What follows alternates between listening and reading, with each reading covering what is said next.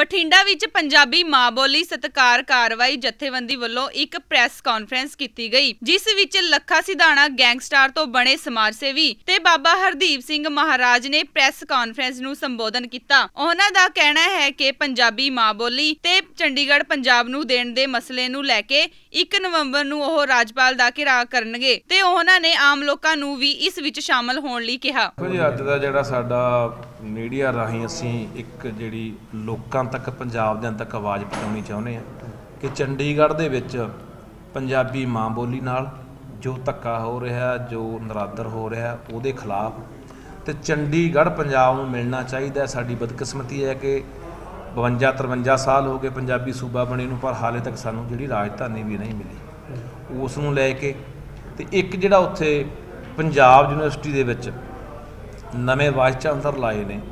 ਉਹਨਾਂ ਨੇ ਪੂਰਾ ਹਿੰਦੂਕਰਨ ਕਰਨਾ ਸ਼ੁਰੂ ਕਰਤਾ ਉੱਥੇ ਪੰਜਾਬ ਯੂਨੀਵਰਸਿਟੀ ਦਾ।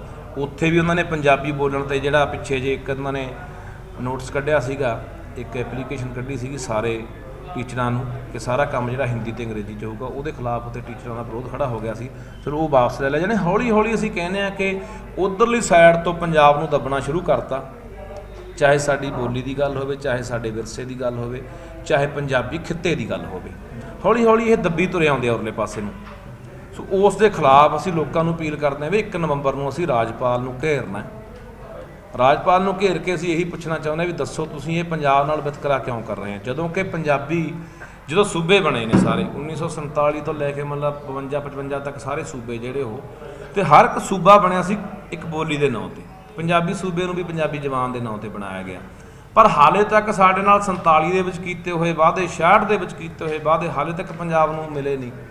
ਤੇ ਉਹ, ਉਸ ਦੇ ਖਿਲਾਫ ਅਸੀਂ ਪੰਜਾਬ ਦੇ ਜਿਹੜੇ ਲੋਕ ਨੇ, ਉਹਨਾਂ ਨੂੰ ਅਪੀਲ ਕਰਦੇ ਹਾਂ ਵੀ ਆਓ ਯਾਰ ਇਕੱਠੇ ਹੋ ਕੇ ਆਪਾਂ ਇੱਕ ਤਰੀਕ ਨੂੰ ਗਵਰਨਰ ਨੂੰ ਘੇਰਨਾ ਦੂਜੀ ਗੱਲ ਅਸੀਂ ਕਹਿਣਾ ਚਾਹੁੰਦੇ ਹਾਂ ਕਿ ਹੈਰਾਨੀ ਇਸ ਗੱਲ ਤੋਂ ਹੁੰਦੀ ਹੈ, ਜਿੰਨੇ ਸਿਆਸੀ ਬੰਦੇ ਨੇ, ਇੱਕ ਨਹੀਂ ਸਾਰੇ, ਸਾਰੀਆਂ ਪਾਰਟੀਆਂ ਵਾਲੇ ਇਹ ਕੁਝ ਕਰਦੇ ਆ।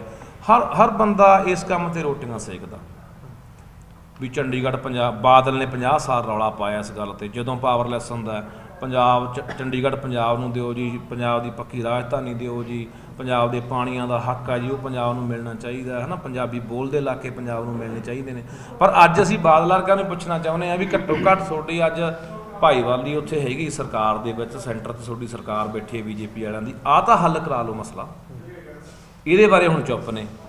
ਸੋ ਇਸ ਲਈ ਅਸੀਂ ਇਹ ਲੋਕਾਂ ਨੂੰ ਅਪੀਲ ਕਰਦੇ ਹਾਂ ਵੀ ਆਓ ਯਾਰ ਵੱਧ ਤੋਂ ਵੱਧ ਉੱਥੇ ਇਕੱਠੇ ਹੋ ਕੇ ਤਾਂ ਕਿ ਇੱਕ ਐਸਾ ਜ਼ਬਰਦਸਤ ਪ੍ਰਦਰਸ਼ਨ ਹੋਣਾ ਚਾਹੀਦਾ ਪੰਜਾਬ ਦੇ ਲੋਕਾਂ ਦਾ ਕਿ ਸੈਂਟਰ ਤੱਕ ਜਿਹੜੀ ਗੱਲ ਜਾਵੇ ਸੈਂਟਰ ਦੇ ਕੰਨ ਜਿਹੜੇ ਬੋਲੇ ਹੋ ਚੁੱਕੇ ਨੇ ਜਾਂ ਜਾਣਬੁੱਝ ਕੇ ਸੈਂਟਰ ਪੰਜਾਬ ਨੂੰ ਜਾਣਬੁੱਝ ਕੇ ਮਾਰਨਾ ਚਾਹੁੰਦਾ ਹੈ। ਇਹ ਅਸੀਂ ਸਮਝੀ ਬੈਠੇ ਹਾਂ ਚਾਹੇ ਕੁਦਰਤੀ ਸਰੋਤਾਂ ਦੀ ਗੱਲ ਹੈ ਚਾਹੇ ਪੰਜਾਬ ਦੇ ਬੋਲੀ ਦੀ ਗੱਲ ਹੈ। ਅੱਛਾ ਪੰਜਾਬੀ ਬੋਲੀ ਨੂੰ ਲਾਗੂ ਕਰਾਉਣ ਵਾਸਤੇ ਤੋਂ ਪਹਿਲਾਂ ਕੀ ਐਫਰਟਸ ਕਰ ਚੁੱਕੇ ਤੁਸੀਂ? ਕਿਸੇ ਨੂੰ ਕਾਫੀ ਨੂੰ ਮਿਲੇ ਹੋ ਡੀਸੀ ਨੂੰ ਕਹਿ ਰਹੇ ਸੀ ਹੋਰ ਕਿਹਨੂੰ ਮਿਲੇ? ਅਸੀਂ ਦੇਖੋ ਇਹ ਤੋਂ ਪਹਿਲਾਂ 22 ਦੇ 22 ਜ਼ਿਲ੍ਹਿਆਂ ਦੇ ਡੀਸੀਆਂ ਨੂੰ ਸਕੂਲਾਂ ਨੂੰ ਲੈ ਕੇ ਅਸੀਂ ਡੀਓ ਨੂੰ ਮਿਲੇ ਆ ਫਿਰ ਅਸੀਂ ਇਸ ਮਸਲੇ ਨੂੰ ਲੈ ਕੇ ਪੰਜਾਬ ਦੇ ਰਾਜਪਾਲ ਨੂੰ ਮਿਲੇ ਆ ਫਿਰ ਅਸੀਂ ਹਾਈ ਕੋਰਟ ਦੇ ਵਿੱਚ ਇੱਕ ਪਟੀਸ਼ਨ ਵੀ ਪਾਈ ਇਸ ਮਸਲੇ ਨੂੰ ਲੈ ਕੇ ਕਿ ਜਿਹੜਾ ਪੰਜਾਬ ਦੇ ਵਿੱਚ ਜਿਹੜੇ ਪੰਜਾਬ ਦੀਆਂ ਸੜਕਾਂ ਦੇ ਰਾਹ ਦਸੇਰਾ ਬੋਰਡ ਨੇ, ਉਹਨਾਂ ਦੇ ਉੱਪਰ ਪੰਜਾਬੀ ਹੋਣੀ ਚਾਹੀਦੀ ਹੈ। ਪਰ ਕਿਸੇ ਵੀ ਪੰਜਾਬ ਦੇ ਸਰਕਾਰੀ, ਗੈਰ ਸਰਕਾਰੀ ਸਕੂਲ ਦੇ ਵਿੱਚ ਜਿੱਥੇ ਕਿ ਸਾਨੂੰ ਪਤਾ ਲੱਗਦਾ ਵੀ ਇੱਥੇ ਪੰਜਾਬੀ ਬੋਲਣ ਤੇ ਜੁਰਮਾਨਾ ਲਾ ਦਿੱਤਾ ਜਾਂਦਾ ਹੈ।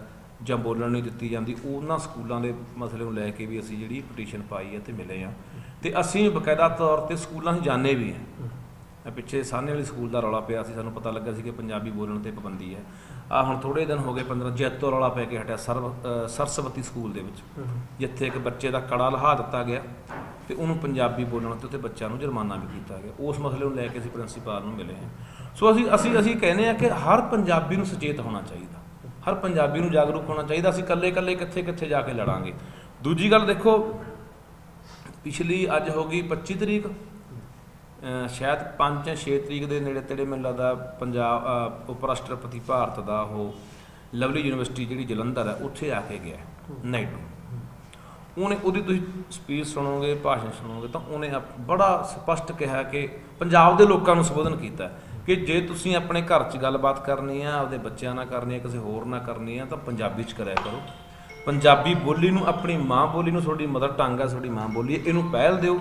ਦੂਜੀਆਂ ਜ਼ਬਾਨਾਂ ਵੀ ਸਿੱਖੋ, ਅੰਗਰੇਜ਼ੀ ਵੀ ਸਿੱਖੋ, ਹਿੰਦੀ ਵੀ ਸਿੱਖੋ, ਪਰ ਹਮੇਸ਼ਾ ਪਹਿਲ ਦਿਓ ਆਪਣੀ ਮਾਂ ਬੋਲੀ ਨੂੰ। ਜੇ ਦੇਸ਼ ਦਾ ਉਪ ਰਾਸ਼ਟਰਪਤੀ ਆ ਕੇ ਸਾਡੇ ਪੰਜਾਬ ਦੇ ਲੋਕਾਂ ਨੂੰ ਨਸੀਹਤ ਦੇ ਰਿਹਾ ਹੈ, ਸਾਡੀ ਜ਼ਬਾਨ ਦੇ ਲਈ, ਸਾਡੀ ਬੋਲੀ ਦੇ ਲਈ, ਤਾਂ ਸਾਡੇ ਲੋਕਾਂ ਨੂੰ ਇਹ ਸਮਝਣਾ ਚਾਹੀਦਾ ਕਿ ਸਾਡੀ ਬੋਲੀ ਤੇ ਬਹੁਤ ਵੱਡਾ ਇੱਕ ਹਮਲਾ ਹੈ ਤੇ ਹਮਲਾ ਬੜਾ ਖਤਰਨਾਕ ਹੈ। ਇਸ ਹਮਲੇ ਨੂੰ ਸਾਨੂੰ ਅੱਗੋਂ ਡਟ ਕੇ ਇਹਦਾ ਵਿਰੋਧ ਕਰਨ ਦੀ ਲੋੜ ਹੈ ਤਾਂ ਹੀ ਅਸੀਂ ਆਪਣੀ ਪੰਜਾਬੀ ਜ਼ੁਬਾਨ ਨੂੰ ਆਪਣੀ ਪੰਜਾਬੀ ਕੌਮ ਨੂੰ ਬਚਾ ਸਕਦੇ ਤੇ ਸਾਈਨ ਬੋਰਡਾਂ ਨੂੰ ਲੈ ਕੇ ਤੁਸੀਂ ਇੱਕ ਕੈਂਪੇਨ ਚਲਾਈ ਸੀਗੀ। ਕਿੰਨੀਆਂ ਐਫਆਈਆਰ ਤੁਹਾਡੇ ਖਿਲਾਫ ਦਰਜ ਹੋਈਆਂ ਇਸ ਗੱਲ ਨੂੰ ਲੈ ਕੇ? ਸਾਡੇ ਹੁਣ ਤੱਕ 18 ਹੋ ਗਈਆਂ ਜੀ।